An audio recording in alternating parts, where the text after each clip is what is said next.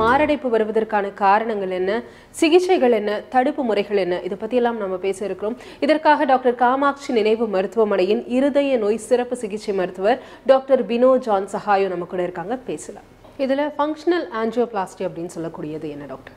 இந்த கொரோனரி ஆன்ஜியோகிராம்ங்கிறது வந்து ஒரு டூ டி ஸ்ட்ரக்சர் ஸோ இதில் என்ன ப்ராப்ளம் ஒரு பிளாக் ஒரு பேஷண்ட்டுக்கு ஐம்பது பர்சன்ட் பிளாக் இருக்குது எழுபது பர்சன்ட் பிளாக் இருக்குன்னு எப்படி சொல்கிறோன்னா ஒரு பிளாக் இருக்கிறதுக்கு உடைய ரத்த குழாய்க்கு முன்னாடியும் பின்னாடியும் ரத்த குழாயோட சைஸ் கூட கம்பேர் பண்ணி சொல்கிறோம் இதில் என்ன ப்ராப்ளம் வரும்னா நமக்கு தெரியாது. ரத்த குழாய்க்கு முன்னாடி இருக்கிறதும் பின்னாடி இருக்கிற ரத்த குழாய்களும் நார்மலாக இருக்காங்கிறது தெரியாது. ஒன்று ரெண்டாவது டூ டி ஸ்ட்ரக்சரில் வந்து ஒரு ஆங்கிளில் பிளாக் அதிகமாக தெரியலாம்.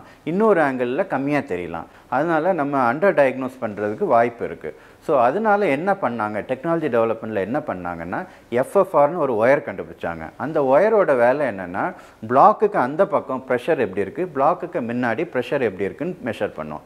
ஸோ பிளாக்குக்கு அந்த பக்கம் ப்ரெஷர் நார்மலாக வந்து கம்மியாக இருக்கும். சப்போஸ் இந்த எஃப்எஃப்ஆர் ஒயரை பாஸ் பண்ணி ப்ரெஷர் மெஷர் பண்ணும்போது ப்ரெஷர் கம்மியாக இருந்துச்சுன்னா அந்த பிளாக் வந்து ஃபங்க்ஷனலி சிக்னிஃபிகண்ட் அர்த்தம். அப்படின்னா அந்த பிளாக்குக்கு வந்து கண்டிப்பாக ஸ்டெண்டு தேவைன்னு அர்த்தம். ஸோ இதுக்கு பேர் தான் ஃபங்க்ஷனல் ஆன்ஜியோபிளாஸ்டி இப்போ நம்ம ஒரு ஆஞ்சியோகிராம் பண்ணுறோம் எழுபது பர்சன்ட் பிளாக் இருக்குன்னு இருக்குது எஃப்எஃப்ஆர் பண்ணி பார்க்குறோம். அதில் ப்ரெஷர் நார்மலாக இருக்குது அப்படின்னா இந்த பேஷண்ட்டுக்கு வந்து ஸ்டெண்டு தேவையில்லை. நீங்கள் கேட்கலாம். எழுபது பர்சன்ட் தான் பிளாக் இருக்க. ஸ்டெண்ட் போட்டுடலாமன்னு நீங்கள் கேட்கலாம். அப்படி அன்னெசரியாக ஸ்டெண்ட் பண்ணோன்னா நன்மைகளை விட தீமைகளே அதிகம். அதனால அன்னெசரி ஸ்டெண்டிங்கை வந்து ஃபங்க்ஷனல் ஆஞ்சியோபிளாஸ்டி வந்து ப்ரிவென்ட் பண்ணுது. இந்த ஃபெசிலிட்டிஸ் காமாட்சி மெமோரியல் ஹாஸ்பிட்டலில் டுவெண்ட்டி ஃபோர் ஹவர்ஸாக பண்ணிகிட்ருக்கோம்